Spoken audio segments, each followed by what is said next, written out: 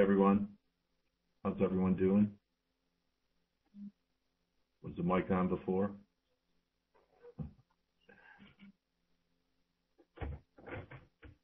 Everyone hear me? Give me a Y. I'm Dale Pinkert with Stop Hunters.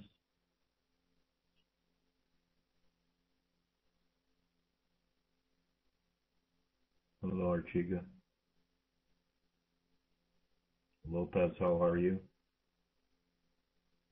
How'd everyone like that uh, webinar last week on correlations?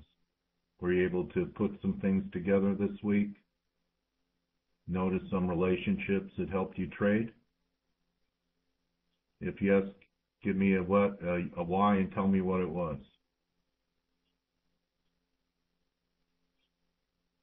Probably interested in more actionable information today, right? Than a general teaching webinar. Who wants trading ideas?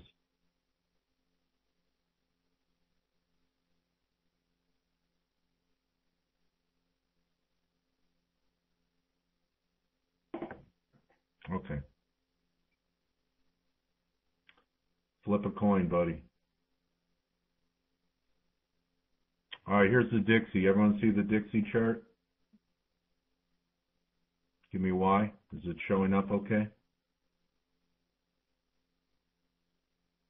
Okay. All right.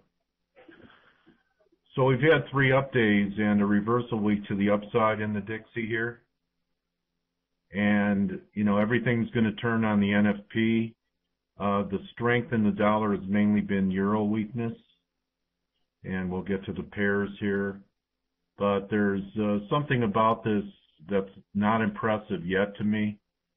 Although we're up pretty good on the week, maybe about 40, 50 points on the week.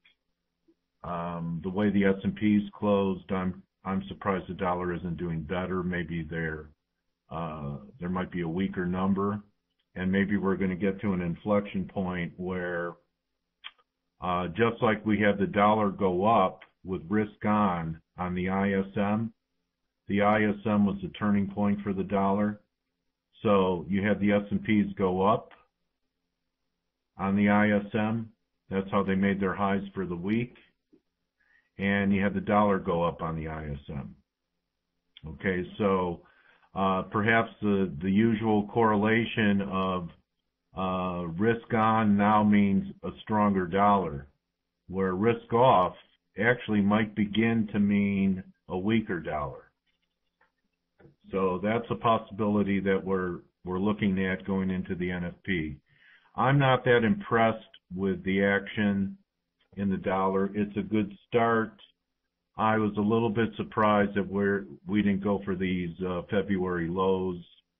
Probably doesn't have to happen, but um, I look at this chart and at this point, I'm still not completely impressed. Although when I do look at the euro, it's giving all kinds of uh, negative signs. There's formations that it's breaking down of. It could be, yes. Uh, that it's starting to look that way. That that could start to work that way, Archiga. So, you know, uh, when that happens, uh, the best way to deal with it is instead of trying to put together the jigsaw puzzle, which I'm usually trying to do, attempting to do by reading correlations and well, the market's doing this and crude is doing that and the bonds are doing this and oil is doing that. And you know euro and Canada are doing that. That you just look at each chart as an individual animal. Right and you just trade it on its own merit instead of trying to figure out the correlations. Because they may be changing and what could happen is it's hard to break old habits. You're going to see the S&Ps down hard.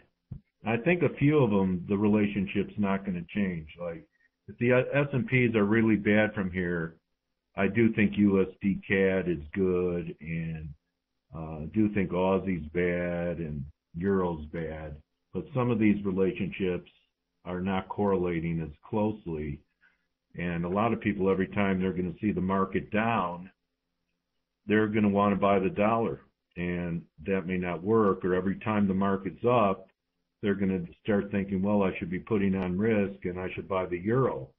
But that's not what happened on the ISM. So just be aware that some of these correlations might be changing, breaking down, uh, disconnecting, disjointed, and just trade each chart uh, on its own. Let it stand alone and trade the price action, divergences, etc., what you see, instead of trying to be um, a macro analyst trying to make everything fit to make your uh, to come up with a trading decision. You guys get that?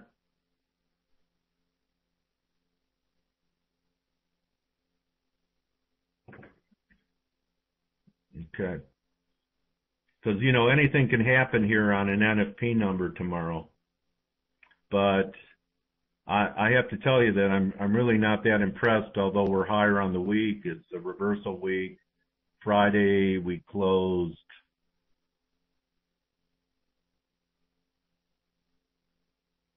right here on the lows, 78.68. So we're up about 30 pips on, uh, six, about 60 points on the week. Okay. It's a decent week. And here's how I think it could go in the S&Ps. You know, whether or not it correlates or not. And we had a pretty serious decline in crude oil today, copper today, so I talked about uh, in some of my tweets that this could end up being a failing rally. And in my market uh, daily video updates, that this could be a failing rally and that we have a break back down to clear out these lows before we get a new high. But you know, they could spin it tomorrow on the NFP and we could be at four at new highs. Uh, new highs now, there's going to be pretty good divergence. But everyone has been poo-pooing sell in May and go away, especially the first day when we were up. And here we are with a nice little reversal week in the S&Ps as well. So I could see it going either way. Right now, I would say if there was no NFP report tomorrow that it favored that this was ABC for A, a, B, C, D, E for B, and now we're going to have a C wave to the downside, which you would think would put pressure on risk, you know, continues to do so. Uh, you know, even though um, the market had a couple up days and that one good up day on the ISM, uh, Aussie continues to make new lows. So Aussie is still correlating even more so than some of the other currencies being pressured. Kiwi even weaker than Aussie. So that's my take on the S&Ps. Uh, crude went right to a resistance level I talked about at 106. Came off pretty hard today. That's pretty negative looking, right? So I mean the S&Ps got very close to their highs and uh, all we did was rally back to uh, prior support and current resistance and was turned back in a big way. We're almost at new lows for the move. Same thing happened in copper. So we are getting a whiff of uh, deflation in the markets the last few days. Uh, everything rallied back to uh, resistance, S&Ps, crude, and now look at copper. Same type of scenario. Rallied up to 385, you know, natural place for it to fail, rolling over again. So right now I would say, especially on the commodities front, that the the bears are in control. They're on the verge of controlling uh, the S&Ps for at least a correction. And the dollar bulls have a chance to make make some hay out of this too.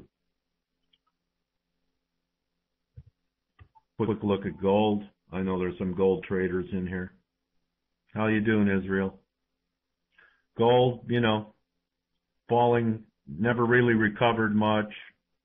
Uh, trend is down to sideways. Maybe basing can advantage another pop on an NFP.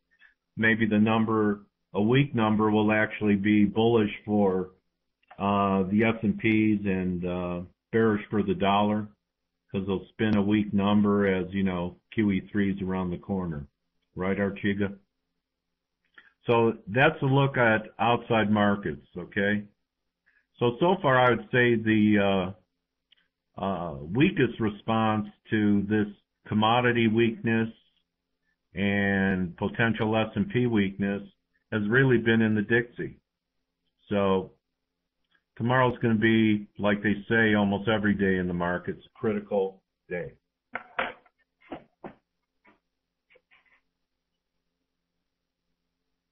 Okay, let's look at some of the pairs.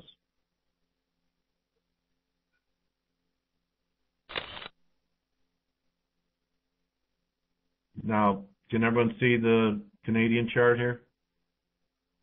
Canadian daily? Is it showing up? Give me a Y. Okay.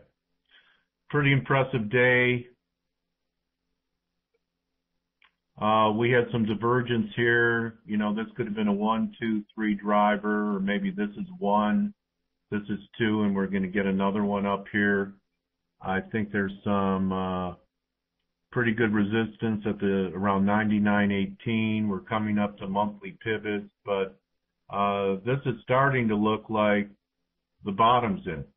Okay, we took out the stops last week and we're back above. Anyone who got out under uh, 98.41 is saying, well, I don't know. I got stopped out of that trade. I can't buy into it now. But if the S&Ps are going to 1320, there's a decent pop coming in USD CAD. Some of the shorter term stuff says, you know, it's also possible that uh, we're still going to have some type of pullback we had nice divergence down here on the four hour. Um, had some back there on the one hour, but if you look at a longer term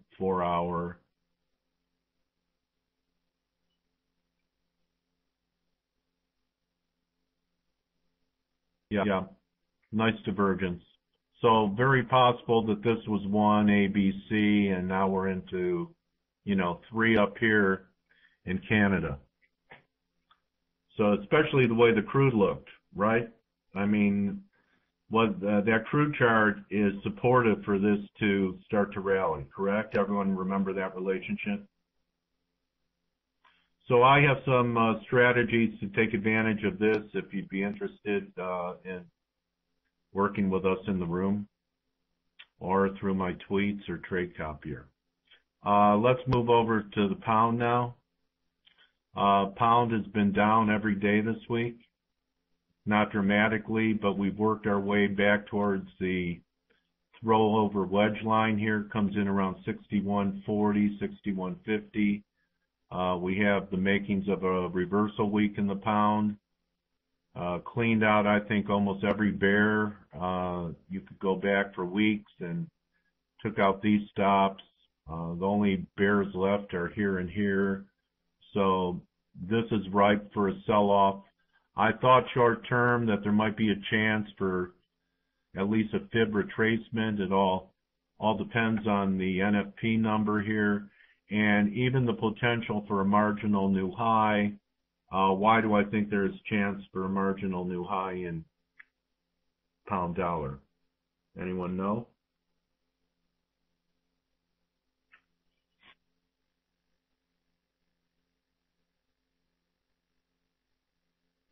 All right.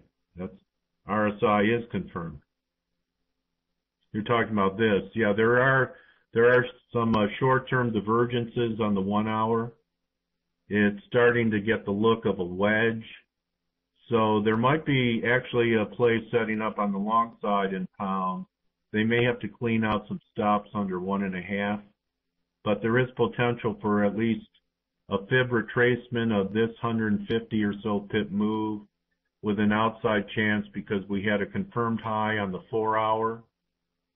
And actually we had a uh, confirmed high on the daily up here. It was over 70. So now if we just had a quick push up here, uh, the daily and the four hour would diverge and depending upon how it did it, maybe the one hour would too.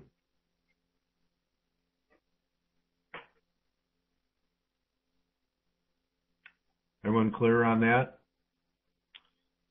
All right, we have uh, we had a couple events here, technical events in the uh, something else I wrote about. I, I talked about a uh, rising wedge in euro. We diverged all over the place here, making these highs. Uh, rising wedge has a bearish implication that it's going to retrace how much. That's something else we teach 100% of the move. Uh, we're underway. You can't rule out uh, perhaps some type of reflex rally back to a wedge line. Uh, looks like we only have two drives here for anything short term. But the bigger picture on the daily is this is looks to me like a descending triangle. And a descending triangle has negative implications. So you have a negative wedge within a negative descending triangle, and they both point towards bearish outcomes. So you're you're going to want to look for a rally to uh, get short euro if they give you one. That's my opinion here. Perhaps the pound outperforms and is stronger on the next rally, and perhaps uh, euro only bounces I do believe we're going to attack this line, and I believe we're going to break it, and that that's going to give you a measured move back to the lows in January. So I guess you could say I'm bearish euro. And it's not just an opinion, it's a couple of formations that are bearish formations. Okay? You know, you could be wrong over the high of this week.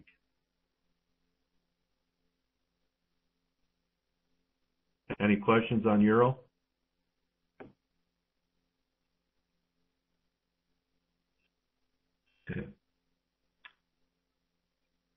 I'm trying to bottom pick U.S. dollar yen. Uh, not that I think there's going to be a dramatic move here, but I thought we were due for at least a uh, correction of this 450 pip decline. The low of the week is right there at the 79.63 and thought there was potential to perhaps rally back to 81.5 to 82. Um, this most likely works if the S&Ps don't crater, because if the S&Ps crater, there should be a rush to bonds, which would be bearish. Because I do think even after a rally here or here, there's another chance for a decline to the 77.5 level in yen. So this is just a little bit of a uh, counter trend trying to trade a correction. This most likely is a wave four, something like this, and then we get a five.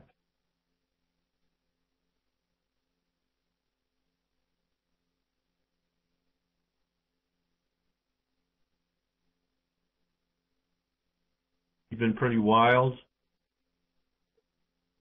Trying to reverse here, but uh, it's still my contention that this is not done going down until we take out this low made in June of uh, 2010. Uh, that's 8066, so we're another 60 pips away. I think we'll take that out. We'll see some type of 79 handle. So this too still favors Uh, euro shorts, and pound longs until we get down there.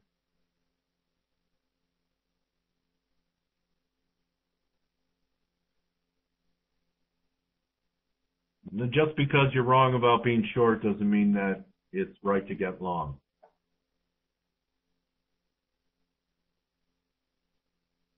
It stops for money management.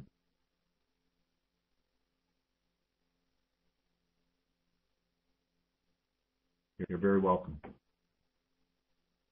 Okay, so uh, still looking for lower numbers. We are diverging here. Uh, Swiss on a short-term chart, we have a two drive formation here, makes, you know, similar mirror image to Euro. You know, where you've had two drives, maybe we're going to get another one down here tomorrow. There'll be divergence there. And it looks like the Swiss could push up one more time. Uh, we had some divergence. Uh, the most I was looking for was uh, about 93-ish, but maybe it doesn't have that much in it. was thinking it could push up to this level, 93. That's another 170 pips before another shorting opportunity came in. But again, it was a nice little pop, but you know, all it did was correct this decline. It could give this up in a hurry too. Kiwi is uh, the ugliest currency on the board. You know, you're tempted to bottom pick it, but uh, there's no reason to do so yet. Still looks ugly. You know, maybe we we're gonna have something like this from here uh, maybe headed towards the 77 level before it's done. Just like Aussie, you know, you're tempted to bottom pick it. Back here, I thought there was a chance for 105, but then after the RBA surprised the market with a half a point cut, quarter better, more than they thought, um, felt late. And I, you know, you're tempted to bottom tick this, especially if the S&Ps can uh, uh, recover and make one more push up towards 1440. You got to think there's going to be some type of Aussie rally.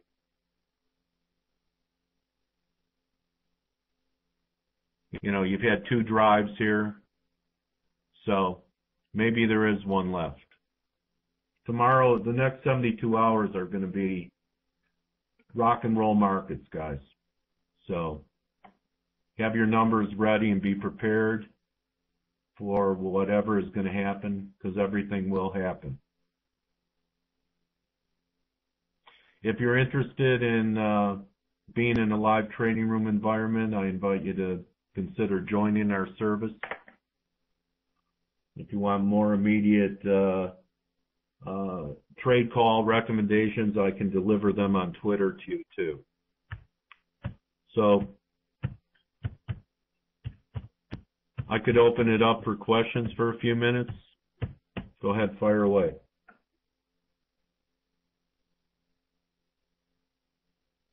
Anything?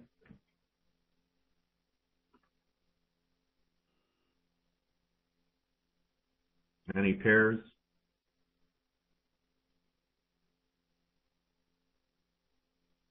No, late after. I figured we'd get some type of bear market rally, maybe back to uh, 82 first.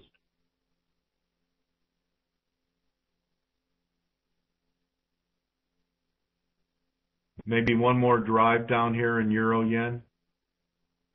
That's the way it looks. One, two, one more to come. So I mean, the way the charts are set up, it looks like the dollar is going to pop one more time in here. I, I'm flat into NFP and I'll react to it. You're welcome. Okay, everybody. Thanks for your attention. Good luck tomorrow. Thank you, Mauricio. Hey, Kareem, Chuck, you're very welcome. See you, FX George. Okay, Archiga, uh, Fernando. Bye, everyone.